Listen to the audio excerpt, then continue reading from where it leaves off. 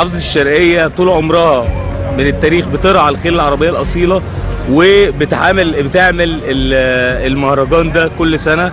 صحيح كان وقف عدة سنين بس رجع تاني وراجع أقوى من مكان. وصلنا محافظة الشرقية.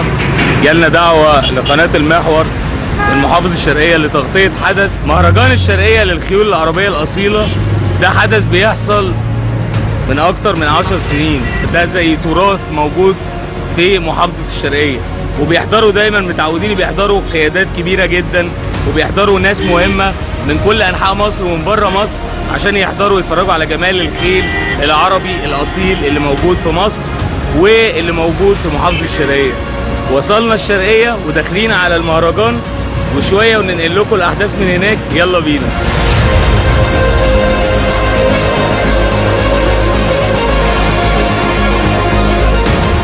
وهنا طبعا في العارضين حاجات تتعلق بالخيل وحاجات ما تتعلقش بالخيل. والمحافظ ورانا اهو وصل الموكب بتاعه. إن شاء الله ندخل بقى ونكمل متابعة معاكم المهرجان. طبعا شكل الحدث كبير جدا والدنيا زحمة بصراحة. يعني أنا شايف آه، أعداد كبيرة جدا من الناس موجودة. أظن إن هو يبقى حدث ناجح جدا إن شاء الله. ونشوفكم على خير. تنطلق اليوم فعاليات مهرجان الشرقية للطيور العربية الأصيلة في دورته الرابعة والعشرين والذي تنظمه هيئة الإقليمية لتنشيط السياحة بالشرقية تحت رعاية الدكتورة رانيا نشاط وزيرة السياحة. والدكتور أشرف صبحي وزير الشباب والرياضة. والأستاذ الدكتور ممدوح غراب محافظ الشرقية. ولا يفوتون أن نرحب بالدكتور حاتم ستين الطبيب الدولي للطيور العربية. يعبر الله عن الإنسان ويتقدم أرض المهرجان حملة الأعلام. يسبقهم علم مهرجان الشرقية للطيور العربية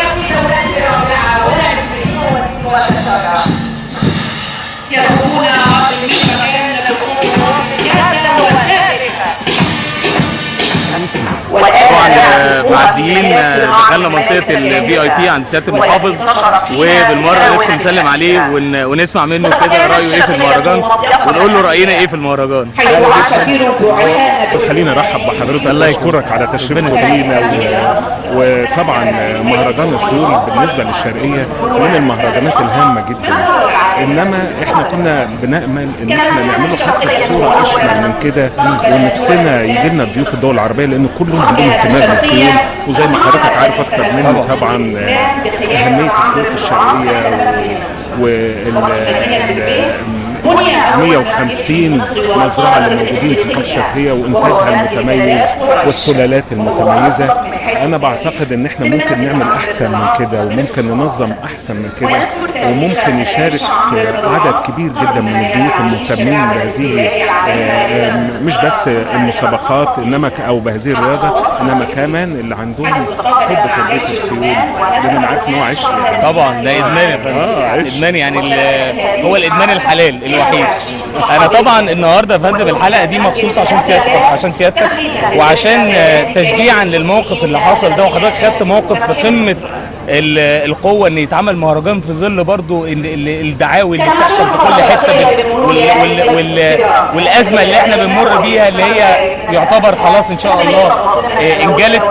لما يحصل أحداث زي دي ولما الناس تحس قد إيه البلد دي تطورت في فترة قليلة جدا جدا. يعني إحنا طالعين منهكين تماما من بعد ثورة يعني مهلكة في سنة 2011 ودلوقتي ما شاء الله مصر بقى ليها شنة ورنة زي زمان والأحداث الكبيرة رجعت تاني وبقينا نشوف مصر على الخريطة تاني. أنا بس بأكد على حضرتك إن مفيش أي حاجة هتأثر لا على النشاط جوه مصر ولا الحركة جوه مصر. مصر كبيرة قوي مصر كبيرة قوي وقوية جدا. حضرتك شايف الناس كلها موجودة والأطفال موجودين. جدا وشايف حضور من الستات اللي الجانب ال- ال- جدا كله جاي كبير جدا. وعلى فكره زي ما حضرتك شايف ولا حد ولا حد كل الناس مبسوطه وكل الناس موجوده وحضرتك شفت كان في معرض الناحيه الثانية يعني يعني أنا مش عايز حد يحس ان ان إحنا بنعمل حاجة غير طبيعيه هو ده الطبيعي ومحدش يقدر يمنعنا من نعمل ونعيش وننبسط وهننجح ومصر كبيره وعليها قائد مخلص عظيم والناس كلها مخلصه يعني ان شاء الله خلينا ننبسط ونفرح وننجز وننجح ونسيبك من التأمين دول وإحنا مش فاضيين لهم آه إحنا مش فاضيين لهم الحقيقة. وأنا آه، بشكل شخصي برحب لحضرتك بالشكر يعني. وبقول ونفسي كل ال- كل محافظين مصر في كل المحافظات يعملوا حدث زي ده للمحافظة. لأن بجد خيل العربي المصري حضرتك أحسن خيل على مستوى العالم. بس إحنا متميزين. إحنا أنتوا طبعا أنتوا لا أنتوا في جنب لوحدكم يا فندم. أنا قصدي الباقي كله يحاولوا يعملوا زيكم. مبسوطين جدا إن إحنا معاك يا فندم. وإن شاء الله نتقابل تاني النهارده. شكرا يا فندم.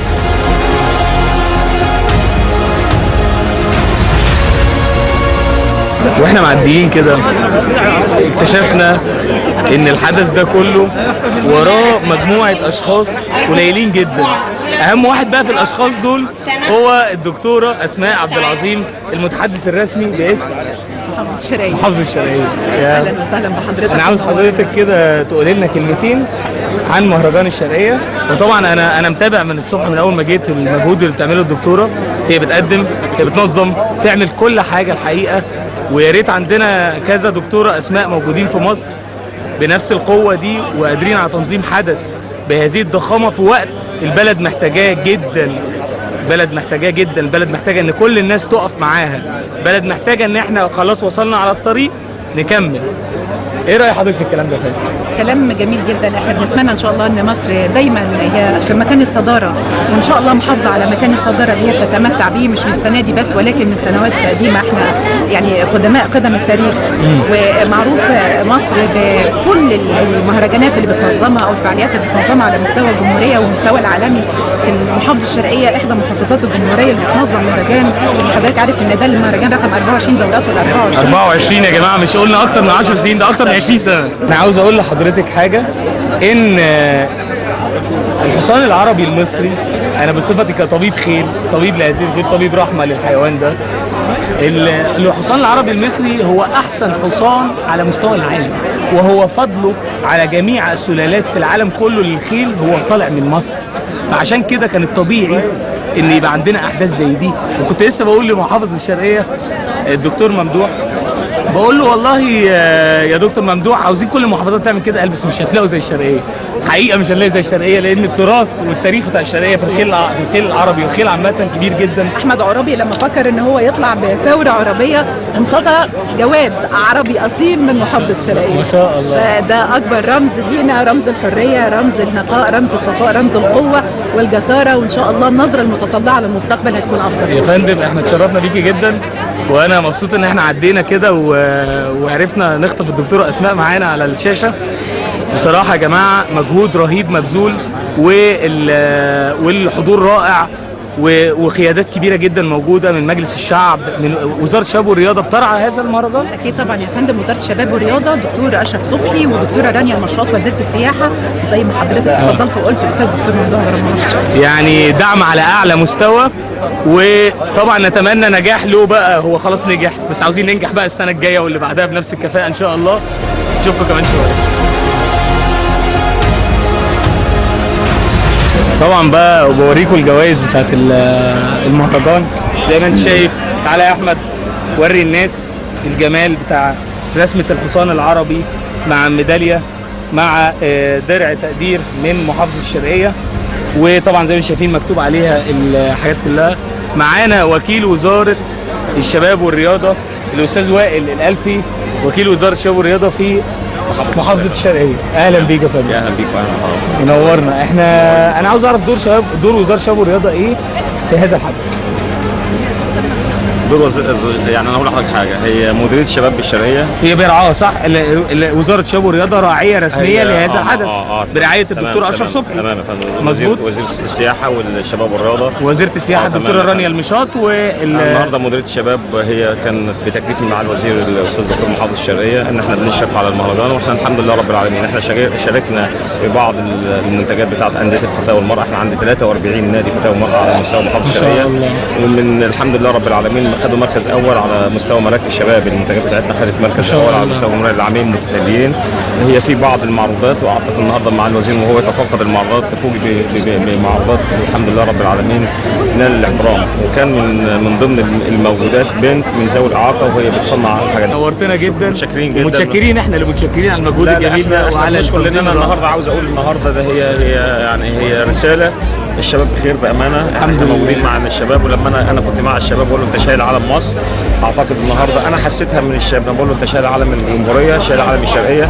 شايل شايل, شايل علم المهرجان فخور. هو النهارده أعتقد في قوة في الولاد وهم ماشيين وده تدريب ثلاث أربع أيام.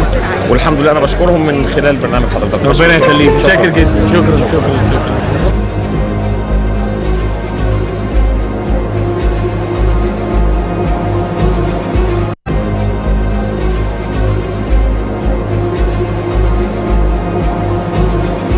ندخل بقى دلوقتي يا أبو حميد عندي إيه؟ على الخيل.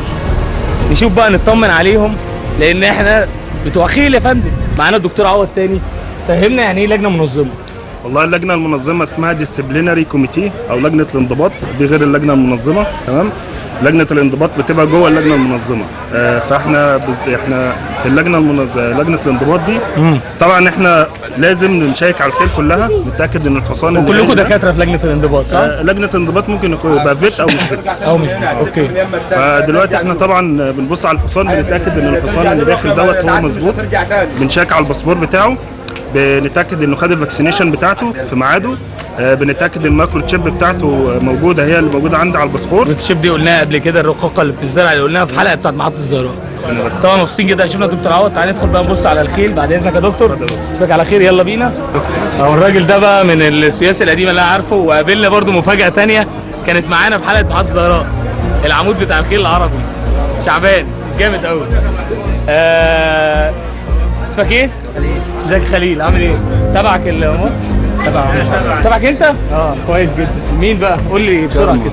إيه؟ كارما كارما كارما زي- مزرعة العواد. اسمك إيه؟ اسمه حسن. ازيك مزرعة العواد. آه مزرعة العواد دي فين مكان؟ دمياط. في دمياط. آه ميدان دمياط. ظهرت ظاهرة يا جماعة في الفترة الأخيرة. الحمد لله. إن بقى في محافظات في مصر كتير جدا بقت بتربي خيل. وبقوا بينت... وبقوا بينتجوا خيل. زي دمياط اهو معانا مزرعة العواد حاج محمد العواد ومعانا مزارع تانية كتير في المحلة. والمنصورة والدقهليه بكل مش المنصوره بس كل الدقهليه يعني موجود في جمصة موجود في راس البر موجود في كل حتة. كل حتة بقى دلوقتي في مزارع خيل آه. والموضوع اشتهر كويس. الموضوع اتطور وبقى. المهرة دي كام سنة يا سبع شهور. سبع شهور. كام قصدي شهر؟ سبع شهور. سبع شهور. لسه بيبي. ما شاء الله. التوفيق إن شاء الله. إن شاء الله تكسبوا نشوف آه مين؟ ريحانة. ريحانة. كام شهر؟ سنة إلا شهر. سنة إلا شهر. آه مزرعه إيه مزرعة ثورة فين دي بقى؟ في بنها. في بنها. زي ما قلنا يا جماعة لسه كنت بقول لكم إن مزارع مصر المختلفة كلها بقت بتنتج خيل. أهو في مزرعة في بنها. شفنا مزرعة في دمياط. إن شاء الله بالتوفيق وتكسبوا إن شاء الله. طبعا بقى ما ينفعش نعدي كده. وألقط آه، عمالقة في الطب البيطري موجودين في في الشرقية وما تعرفش بيهم. تعرف بحضرتك يا فندم؟ مدرب البسط بطريقة. آه، الدكتور. كبير اخصائي مدير مؤسسه متنقل طب بيطر الزقازيق ما شاء الله. إحنا بنشكركم أول حاجة على رعايتكم ولا مجهودكم جامد نتابع جدا ال- الحالة هنا الصحية وكده طبعاً لو. في حاجة عندها مغص بتاع إحنا برضه موجودين إن شاء الله. لا و- وأنا معاكم برضه نورنا لا والله أنا مبسوط جدا ان أنا شفتكم ومنورينا إن شاء الله على البرنامج. وأنا حابب أقول إن دور الدكتور البيطري هو أهم دور على مستوى الجمهورية. ليه يا فندم؟ إحنا مسؤولين عن الأكل مسؤولين عن التغذية بتاعت البني آدمين مسؤولين عن رعاية الحيوان اللي هو بيساعد البني آدم في دكاترة زي ما حضراتكم شايفين واقفين في عز الشمس. بيراعوا عشان مش واقفين عشان يسعفوا بني آدم. لا ده هم واقفين لإسعاف حيوان مش عارف يتكلم. واقفين على حيلهم آه ولا هم ولا جايبين كراسي. أنا معدي ثلاث أربع مرات لا قاعدين وقاعدين واقفين وبيشتغلوا وبيشوفوا وبيراقبوا. فده هو ده اللي عايزين كل إن شاء الله مصر بنفس النموذج ده. متشكرين يا فندم جدا. طبعا بقى ما ينفعش نكون موجودين. أنا جريت جري على محمد بيه بدراوي على أساس إن أنا يعني ده راجل من كبار المربيين بتوع الخيل في مصر. طلع كمان رئيس لجنة تحكيم. المهندسة مها أنا آسف إن أنا أقول كده. مدمنة خيل يعني أنا ما شفتش ما شفتش إدمان أكتر من اللي عندها عند أي حد. طبعا إيه اللي عند محمد بيه. وعندنا الدكتور محمد محسن قابلناه قبل كده في حلقة محطة الزهراء. آه اللي هو قاعد يعلمنا الاختام. واتكلمنا شوية عن الموضوع ده. ومصطفى صبري في لجنة التحكيم برضه. ودي الجوائز الدروع اللي تقدم اللي اتقدمت من محافظة الشرقية من السيد المحافظ لل... للجنة التحكيم. وعاوزين نعرف بس محمد بيه. دلوقتي الحصان لما بيدخل جوه الأرض اشرح لنا حضرتك بتدي النقط بتاعته أو الدرجات بتاعته بناء على إيه للناس المشاهدين عشان هم محدش يعني في ناس كتير جدا بتتابع ومش عارفين القواعد بتاعت بتاعت ال- الجمال العربي بالتحديد لأنها صعبة شوية. أيوه. أول حاجة بتتكلم عنها أول ما بيخش لك الحصان في أول لفة أنت كحكم بتقيم ترتيب في دماغك. مين أول مين تاني مين تالت؟ بتحط فكرة عندك بحيث إن أحسن حاجة عجباك تحافظ عليها إن أنت إيه في الدرجات والكل بعد كده اللي بيفرق بقى بيخش حصان حصان بتقيمه بتقسم مثلا التايب النوع. أول حاجة النوع ده بيشبه قد إيه للحصان العربي. آه. بيشبه قد إيه للحصان العربي؟ طبعا بيخش التوازن فيه بيخش نعومة الجلد فيه بتخش دخلة الكاريزما بتاعت دخلته عليك بيشدك إزاي؟ دماغه دخلت دماغه عليك برضه. أول حاجة بتشوفها هي الوش فبيبقى لك اللي بيجي على قلبك أكتر يبقى قريب ليك وكده. بعد كده بتمسك ال- الراس تفصصها الرقبة تفصصها. مفيش مشكلة خلي القنوات موجودة معانا إحنا برنامج رياليتي شو فعادي لو عاوزين تدخلوا معانا مفيش مشكلة. بعد كده اتفضل. بتمسك حاجة آه، هذا النك الراس والرقبة بتشوف الراس العظم بتاع الراس الجبهة عريضة العينين لازم تبقى كبيرة تبقى مدورة ما تبقاش فيها بياض ما تبقاش مشروطة زي اللوزة. الودان لازم تبقى مقرونة وقريبة لبعض مش مفتوحة. البوز يبقى فيه نعومة طبعا يبقى حلو لو فيه دش بس لو العظم ناعم وفي وفي نعومة في الوش والمناخير مدورة وفي شيب حلو مش مش مشكلة حكاية الدش الدش مطلوب يعني إيه دش؟ الدش يعني الف- الفعصه أيوه اللي هي المنحنى. الجامد اللي نازل من تحت. ممكن تبقى موجودة وممكن مش مش لازم. مش هتفرق معاك. في الحصان. آه مش هتفرق. لو الحصان لا تفرق لانها تفرق في الدرجات. هتبقى أعلى. آه. بتعليها أكتر. بس لو الوش ناعم وحلو برضه الحصان بياخد. بياخد. دي بتبقى حاجة انت بتزودها اما بتشوفها. آه أوكي. وفتحة المناخير تبقى واسعة مدورة. لفه الخد تبقى حلوة. بعد كده بتخش على الرقبة. الرقبة تبقى محطوطة طالعة من الكتف صح؟ ناعمه ما تبقاش تخينة يبقى المذبح بتاعها نظيف ما يبقاش خالي ما يبقاش فيه رقبة واطية بنسميها إيه هناك رقبة الوزه بعد كده بقى بتخش على الجسم ودي فرصة بقى انها تتكلم. المهندسة مها زي ما قلنا هي من آه، أعمدة الخيل العربي مربية مربية خيل عربي. بتربيهم عن passion وعن حب مش عن business ولا ولا يهمها الكلام ده يهمها أكتر إن هي تطلع سلالات كويسة عندها مزرعة اسمها مزرعة الزمان من أحسن المزارع الخيل العربي اللي موجودة في مصر. فكرها في الخيل العربي غير فكر مربيين كتير جدا. فكرها هو اللي لو مصر مشيت عليه هنبقى متطورين أكتر وأكتر وأكتر في هذا المجال. برحب بيكي أول حاجة معانا في برنامج 60 شو. آه، أستاذ محمد بدراوي شرح لنا ووصل لغاية الرقبة بتاعت الحصان إن هي تكون طالعة من الصدر من عند ال آه، من عند ال من الحارك. مظبوط. الحارك ده اللي هو آخر الظهر واللي هي طالعة من عند الجسم الرقبة طالعة من الجسم بطريقة كويسة وما كملش عشان ال- الكلاس ابتدى فعاوزين تكملي لنا بقى. من أول الرقبة وأنت نازل اولا طبعا أنا بشكرك على البرنامج الجميل ده لأن إحنا في مصر دايما متعودين الناس كلها بتهتم بالكورة. صح. ومفيش أي اهتمام بأي رياضة ثانية خلي بالك أنا عملت البرنامج ده بميزانية خاصة أنا كلها متكفل بيها من حبي للحصان. والله. ممتاز. وأنا عاوز البرنامج ده ينمي الحصان بجد في مصر. وعاوز يبقى ليكوا صوت كمربيين كبار. في الوطن العربي كله. فهو ده ده الغرض من البرنامج. الحيوان فقط واللي هو الحيوان المكرم اللي هو الحصان.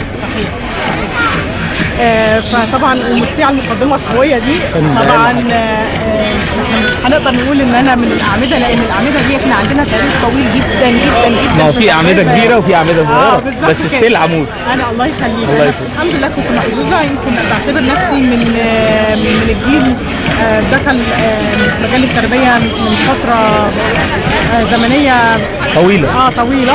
قد إيه؟ النهارده بقالي 18 سنة في المجال 18 سنة بتربي خيل عربي يا جماعة. 18 سنة في المجال عاوزك تعلي صوتك بقى شوية معايا يمكن اللي ساعدني أو حالف لي الحظ إن أنا ال- ال- الخلفية بتاعتي جاية من ركوب مش من مش من خيل عربي. يعني أنا بديت وأنا صغيرة كاي طفلة بتحب الحصان عايزة أركب النهارده وبعدين دخلت رياضة الترويض وبعدين الحمد لله نجحت في إن أنا أحقق نتائج كويسة ميدالية ذهبية على مستوى الجمهورية مرتين على سنتين على التوالي ميدالية برونزية على البان أرب جيمز. جامدة يا جماعة. ميدالية ذهب في الترويض سنتين ورا بعض. ما شاء الله يعني. يعني مش بس واخدة الموضوع كده هواية لا بتركب كمان الحصان وفارسك قوية جدا. ودي معلومة أنا عارفها بس الحقيقة كنت نسيت أقولها في المقدمة. وهي فكرتنا بيها المهندسة مها فعلا أنا بشوفها بتركب كتير جدا وكسب ميداليات دهب أنتوا عايزين إيه؟ عايزين إيه تاني؟ كملي. لا. أنا بقول المعلومة دي ليه؟ لأن أنا لما رحت اخد course التحكيم لقيت إن أنت لما بتبقى بتفهم في الحصان إزاي بيتحرك لأن في الآخر الحصان إحنا بنتكلم على جمال جمال الحصان العربي لكن ما يمنعش إن هو لازم يبقى ال functionality بتاعته مظبوطة ده حصان يعني لازم يتركب لازم يبقى الق- القوائم اللي هي الرجلين بتاعته تبقى مظبوطة. حركته جاية سليمة من كتف مفتوح يقدر يبقى عنده مرونة في الحركة يرفع الرجل القدامانيه لارتفاع مناسب. فده كان ليه تأثير كبير جدا في طريقتك للتحكيم. إحنا عاوزين بقى تقولي لنا إيه اللي بيحصل من بعد الرقبة العلامات اللي بتاخدها. إحنا اتفقنا العلامات هم خمسة. التايب اللي هي النوع زي ما شرح آه، أستاذ محمد بدراوي. وراه الراس والرقبة هي علاقة الراس بالرقبة شا- شكل الراس عامل إزاي؟ الرقبة هو شرح إن هي لازم تبقى طالعة من الحارك بشكل آه، مرتفع مش ساقطة لتحت يعني مش يبقى الجسم جاي وبعدين رقبة الحصان واقعه لتحت لازم تديك شكل arch جميل؟ لازم ما تبقاش آه، نازلة بتركيبة عميقة في الصدر يعني بحيث إنها تديك شكل ال curve اللي هو ال arc. ما يكونش فيها دهون ما يكونش فيها. دهون آه. ما يكونش فيها لا مش شرط يبقى دهون أحيانا بتبقى ال- الشكل الماسكلاتشر نفسه أو ال أو ال أو البوني البوني. ستراكشر نفسه مش مظبوط. بالظبط كده. فيها. قلبة دي الوزن آه. اللي هو قال عليها. أيوة، أيوة، أيوة، أو صح. إن مش مديه هنا نعومة في المذبح. لازم. من نقطه التقاء الرقبة بالراس يكون ناعمة جدا. أقدر أشوف الراس يا بتفاصيلها المعلومات دي مهمة جدا. والرقبة بنعوميتها أيوه. ما تبقاش زي ما تكون بلك واحد طالع هما بيقولوا 19 من 20 و18 من 20 والكلام ده. حد بيجيب درجات نهائيه آه بيحصل. بيحصل. فعلا؟ آه، مش كتير بس بيحصل. آه. آه لأن لكن بعد الجسم أنت قلت الجسم القوائم بنبص على كده يبقى الموضوع انتهى صح؟ بالقوائم والحركة. والحركة طبعا. لأن إحنا زي ما اتفقنا الحصان لازم يعرف يأدي أداء سليم في الحركات المفروض احكم على الحركات كلها لكن إحنا هنا بنحكم على خطوه ال trot.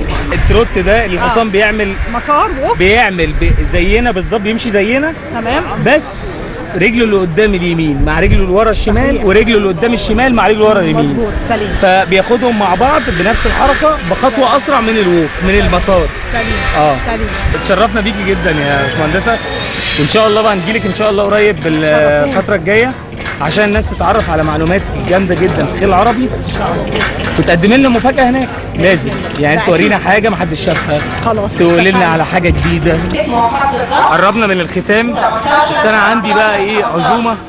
عند ناس آه، من محبينا من عيلة الطحاوي هنروح ناكل عندهم ونكمل من هناك. يلا بينا يا أبو حميد. يلا بينا. إحنا طبعا خلصنا مهرجان الشرقية. فوجئت بدعوة من آه، عيلة الطحاويه ودول عيلة عريقة جدا في محافظة الشرقية.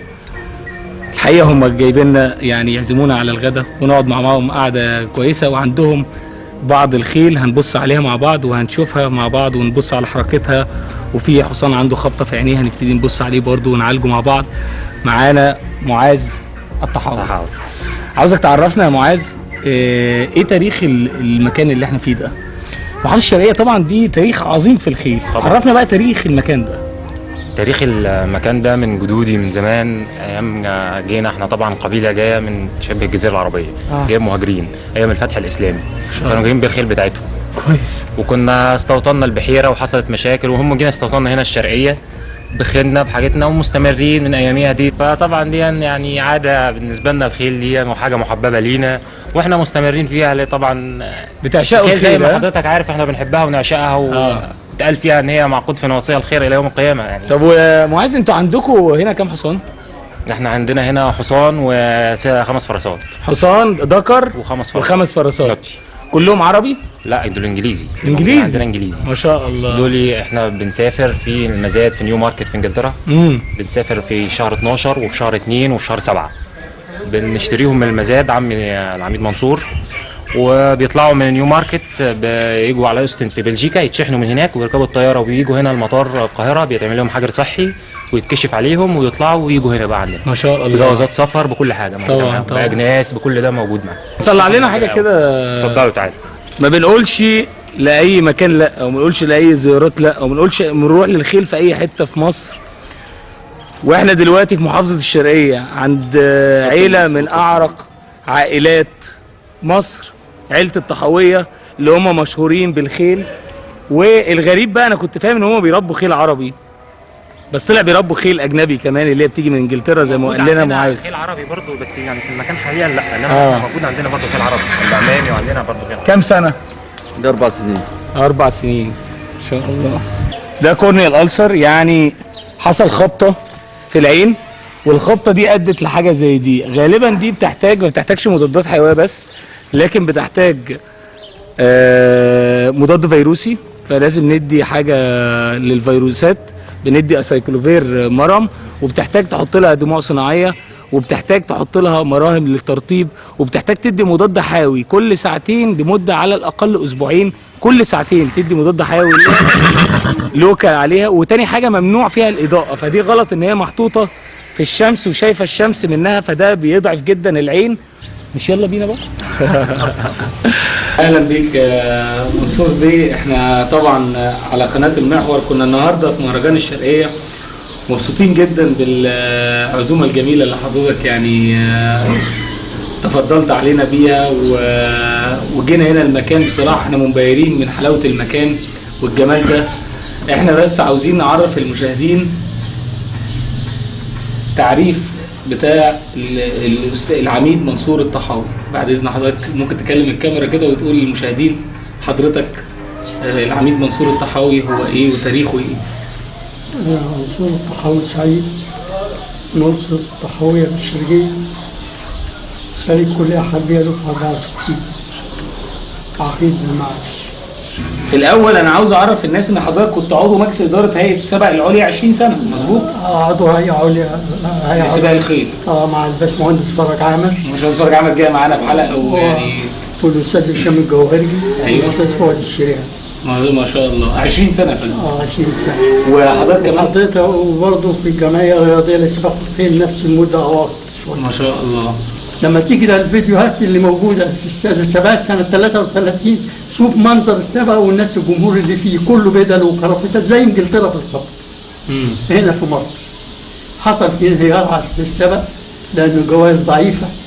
فأصبح الجماعة الإخوة في الصعيد يطبقوا نظامنا. إحنا زمان كنا بنجيب الخير عشان سباقات بيننا وبين بعضين أيوه. هم بيعملوا سباقات بينهم وبين بعضهم طبعا كان يوم جميل جدا وكانت آه، رحلة لمهرجان من من أقدم مهرجانات مصر. مهرجان بيقام لمدة 24 سنة. مهرجان الشرقية للخيول العربية. وبعدين جينا ختامها مسك مع العميد منصور وعيلة الطحاوي. أحسن ناس في مصر وأحسن ناس في الشرقية. متشكرين ونشوفكم الحلقة الجاية من 60 شهر